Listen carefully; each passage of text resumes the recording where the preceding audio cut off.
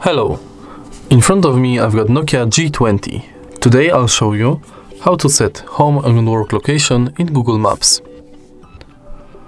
So let's open Google Maps firstly, tap button in the right corner and go to settings.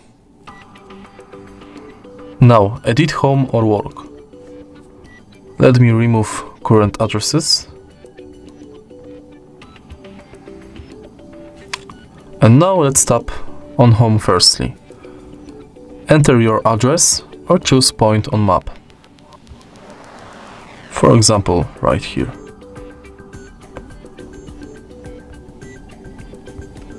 Same thing with work. Enter work address or choose point on map. Save. Done. Now let's reset the app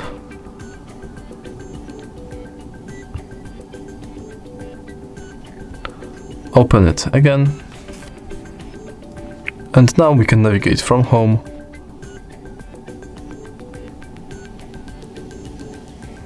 to work.